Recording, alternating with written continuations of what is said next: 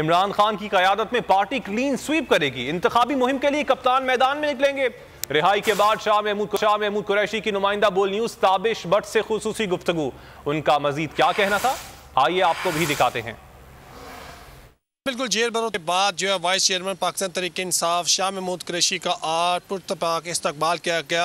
हमारे साथ मौजूद है इस वक्त शाह महमूद कुरैशी साहब उनसे बादशाह साहब, बहुत शुक्रिया आपके वक्त का। मुझे बताइएगा बताइएगा, जेल भरो तहरीक जो है वो मुकम्मल तौर पर कामयाब हो गई है। आज आप आए, लोगों ने पुरतपाक इस्तकबाल किया, क्या कहेंगे इस पर देखिए, मैं कारकुनों का शुक्रिया अदा करना चाहूँगा, जिस मोहब्बत का उन्हें इजहार किया, जिस यकजहती का उन्हें इजहार किया, और जो उनने हमारा हौसला बांधा जिस किस्म के पैगाम आ रहे थे जेल में मैसेजेस हमें डायरेक्ट तो नहीं मिलते थे, क्योंकि मैं कन्फाइनमेंट में था, कैद तनहाई में था, लेकिन इतलात मिल जाती थी कि भाई फ़लाँ का पैगाम आया, फ़लाँ का पैगाम आया।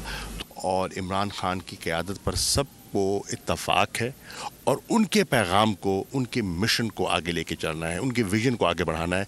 और वो यकजहती से होगा। आप देखिए बिल्कुल पाकिस्तान तरीके इंसाफ के वाइस चेयरमैन शाह महमूद कुरेशी मेरे साथ मौजूद थे। उनका यही कहना है कि जो इख्तलाफात हैं जो कम इख्तलाफात हैं उनको बोल कर एक बड़ी कॉज के लिए आए। हफ़्ते के रोज से लाहौर समेत पंजाब के दीगर शहरों कर रहे थे।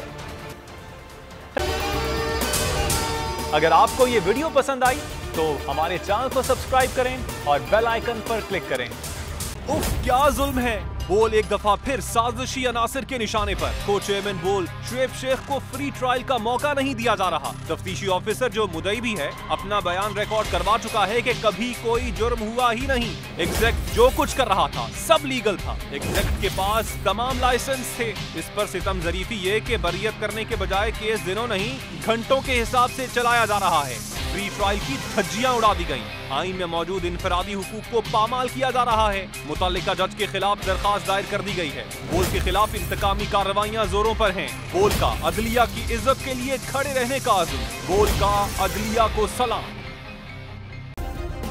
सब्सक्राइब करें और बेल दबाएँ ताकि कोई खबर रह न जाए।